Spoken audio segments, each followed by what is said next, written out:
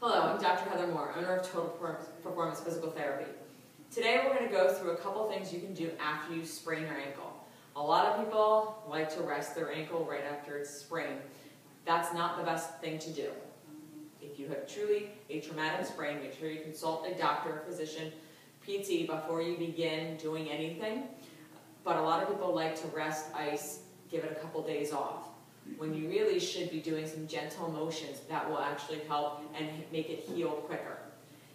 These may be uncomfortable. You don't want them to be uh, excruciatingly painful. There are several levels to some of these that you can kind of work your way up through. These can be done immediately following a sprain. Again, if you feel like you've torn a ligament and you feel you need to go consult a medical professional, please do so before beginning these exercises.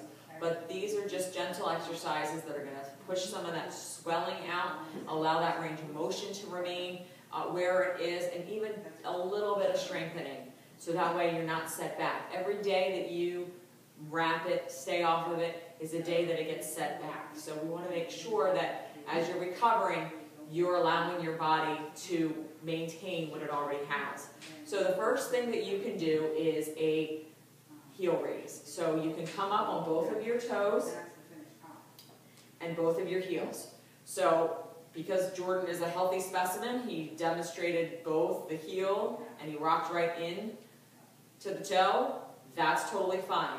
If you have an ankle sprain, you may not be able to do that. So you may just be able to lift your toe and then lift your heel.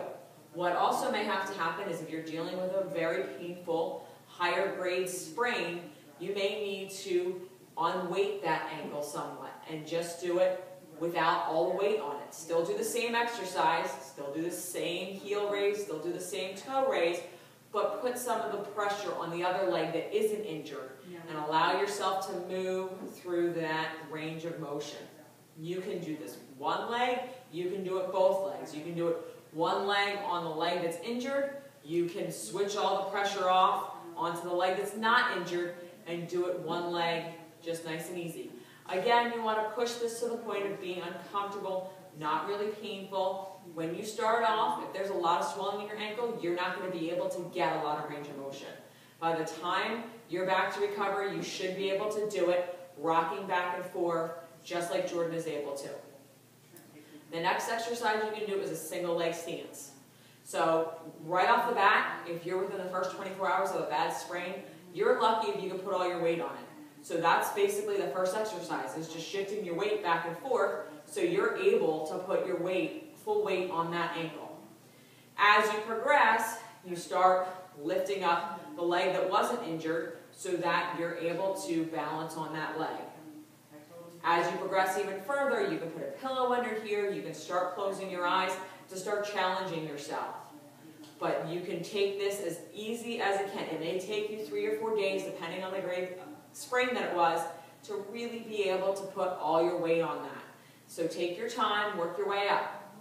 There are no sets, there are no reps for these. These are gentle exercises, so if you find yourself just standing there, you can start rocking back and forth. You can start lifting your leg off the ground. There is no specific sets and reps to these. The next exercise you can do, which is a little bit more advanced, but it's going to help you with this strength and help you with the range of motion, is a lunge. So you're going to start off in normal position for a lunge.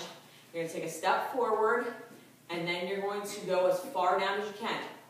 Okay? When you're healthy, you're going to go this far. When you're not healthy, you may only get that far. You may only take a step forward and come back, and that will be it, depending on how how your leg feels, how much swelling is going on, how much pain you're in. Again, just even taking a step forward, putting weight on it, and stepping back is going to allow those muscles, allow those ligaments, everything in that foot to engage and help your ankle recover faster. If you have any questions or problems, give us a call at 215-997-9898 or visit us on the web at www.totalperformancept.com.